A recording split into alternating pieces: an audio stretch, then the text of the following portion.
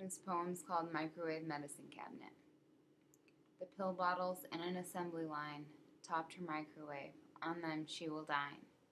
Antidepressants, antipsychotics, benzodiazepines, amphetamines. She is medicated so the fire is not fully lit, and without them she just doesn't fit.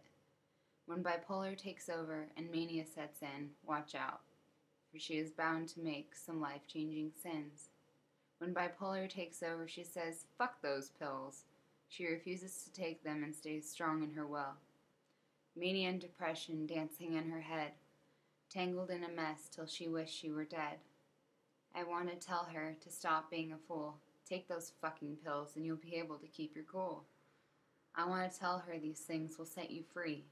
If only, but you see, I can't because this medicated girl is me.